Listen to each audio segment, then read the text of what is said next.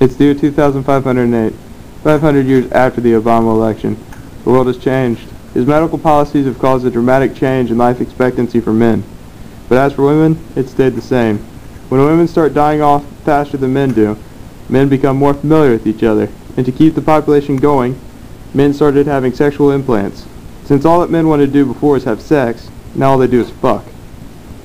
So there have been no changes, or just little, in technology. The last descendant of Barack, Emperor Erector, and his son, Darth Creamer, ruled the world with an iron cock. Hey, Me and my few straight up when I friends getting started a women's concentration camp are left to overthrow this iron cock. My name is Felix Cumpaster, and I'm straight.